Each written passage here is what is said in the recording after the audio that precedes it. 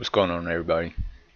Today from start to finish I'm going to show you how to install the Mac OS 10.12 Sierra onto the ThinkPad X220. First what you want to do is uh, open up the App Store then download the uh, Mac OS.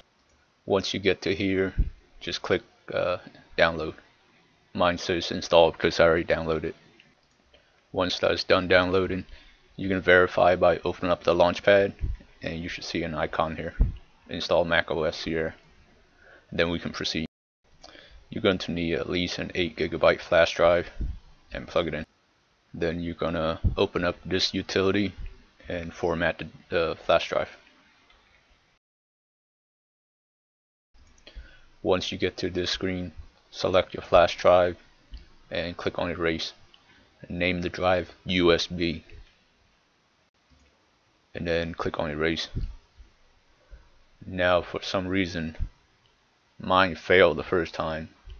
Uh, just click OK and then try it again. You're gonna see here in a second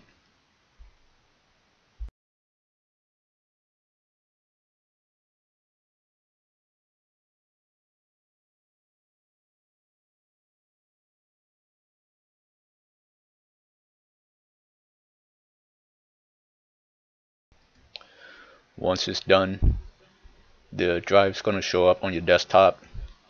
And now it is time to go copy this terminal command which I will put in the description but I'm also going to show you where to get it. Um, go to Safari and search for X220 McDonnell Tech. Once you get to the site skip to step 7 and highlight the terminal command and copy it which is right here.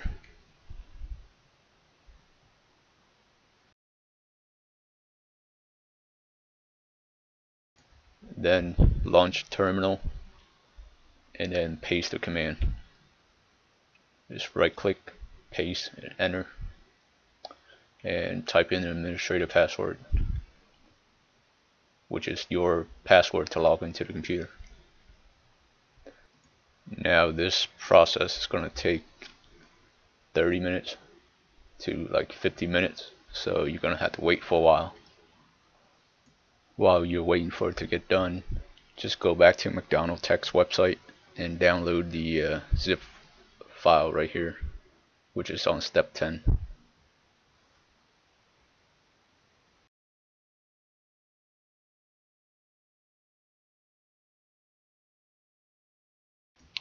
Once you're done just uh, open up finder and drag it to the desktop so it's easier to work with.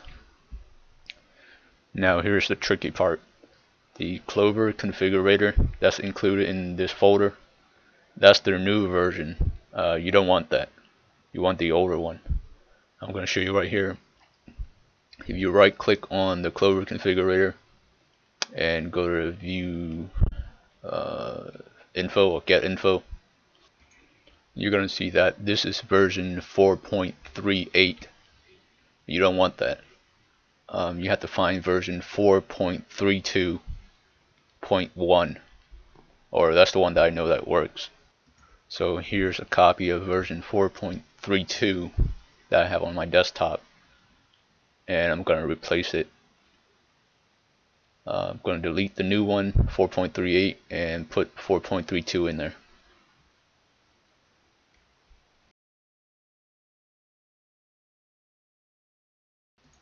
Now just close everything out to get it out of the way. And open up the USB and you're going to copy the folder that you just created in there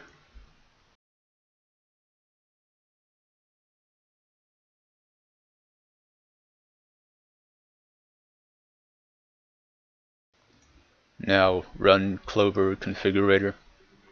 Uh, double click on the folder, right click on it, and select open. Remember this is going to ask you to mount EFI partition, click OK.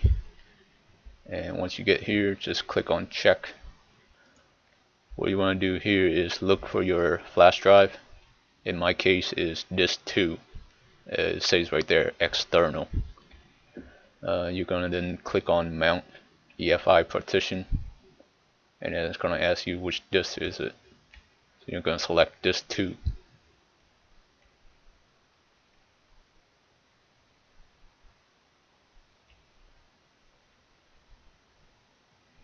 It's going to ask you for your user password.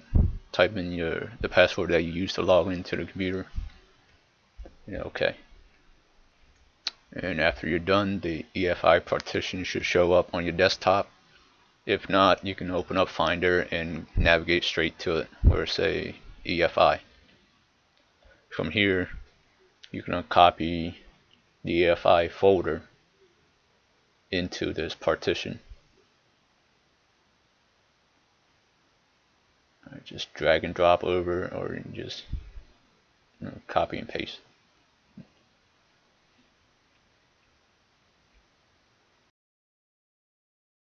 Once it's copied over, you are done. We're going to restart the computer, uh, reset the BIOS to a factory default first, and then install the uh, operating system. Now to get to the BIOS, you want to press and hold F1 while the computer is turned on.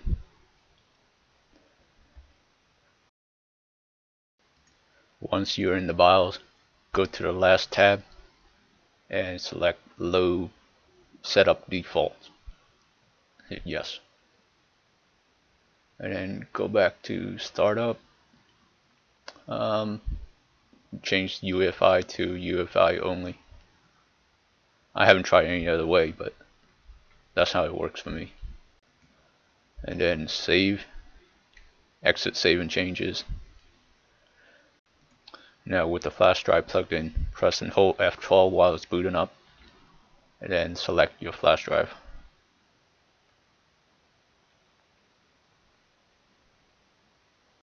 Once you're here, select booting from the USB, which is the uh, icon with the yellow USB flash drive looking thing.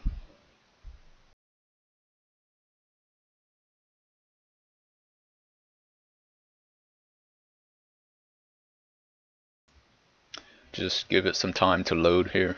It might take a little bit.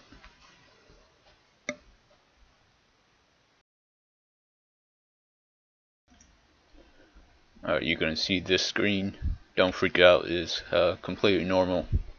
Just give it some time, it'll load.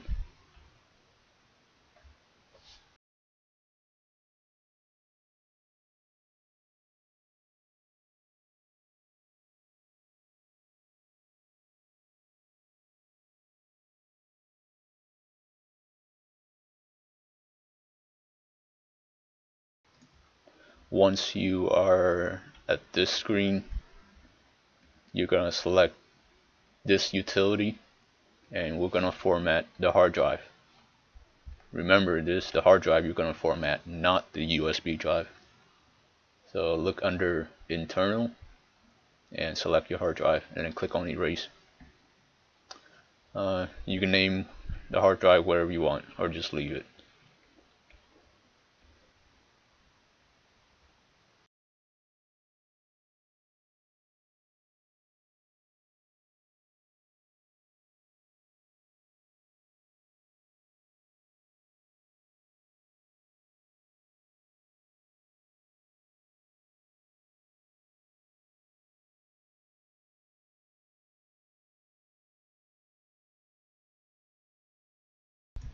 Once it's done, click OK, close the window to get back to the main menu, and then we're going to choose Install Mac OS.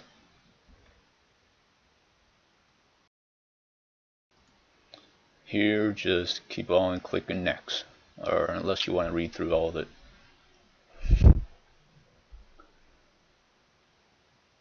Uh, select your hard drive, and then wait. You're gonna be stuck at this screen for like the next hour. So ignore whatever time that I gave you down there. About 7 minutes remaining. what they really mean is about 70 minutes.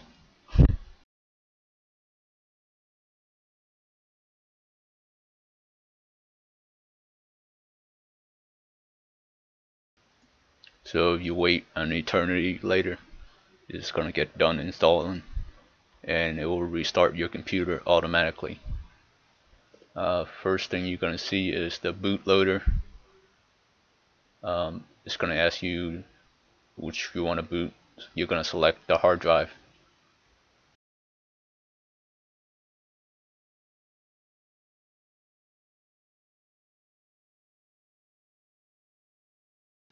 Again, you have to wait here for another 15 minutes for it to set up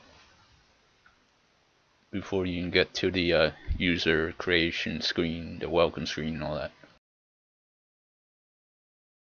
And we're finally here. Select your country, keyboard layout, location services.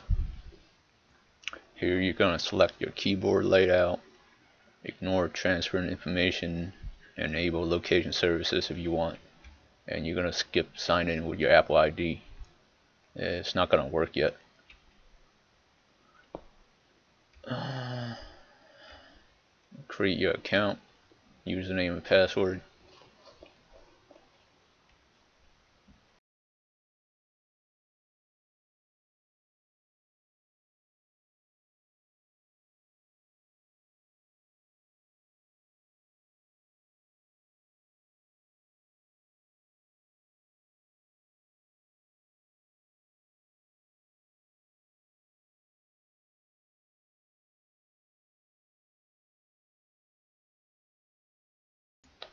And then we are in. The first thing it's going to ask you is what's going on with the keyboard. So just follow the instruction right there. Uh, it's going to ask you what's the key next to the shift keys and just type it in. Click OK.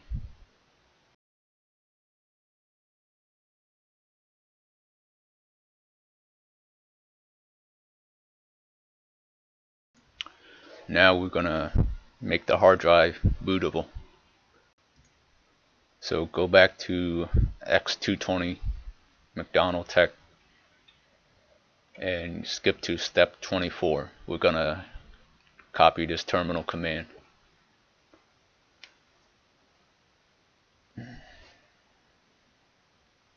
Go to step 24 just highlight it right click copy and then we're gonna open up terminal and paste it.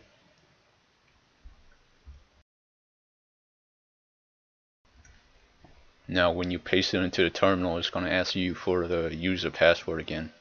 That's the password you just created when you create your user account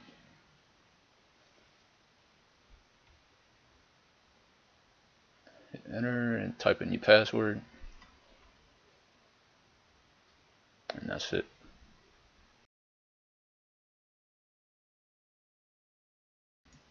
Now open up your flash drive. I like to make a copy of this folder to my desktop. You don't have to. But uh, now we're going to open up uh, Clover. Just right click, open. And choose mount EFI partition. Now you're going to hit check partition and you're going to look for your hard drive. This time you're going to look for your internal hard drive, not the flash drive. In my case it's disk zero. So that's the 120 gigabyte hard drive right there. And click on mount EFI partition. And it's going to ask you which drive, select this zero and then click OK.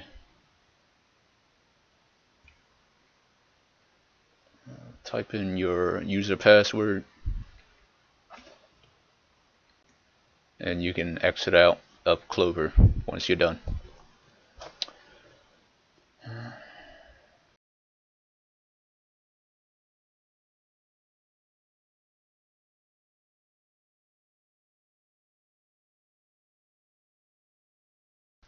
You should now see the EFI partition showing up right here. Or you can just uh, open up Finder and go to EFI that's your EFI partition on the hard drive. There should be a single folder in there called Apple and you're gonna copy these two extra folders in there. Clover and boot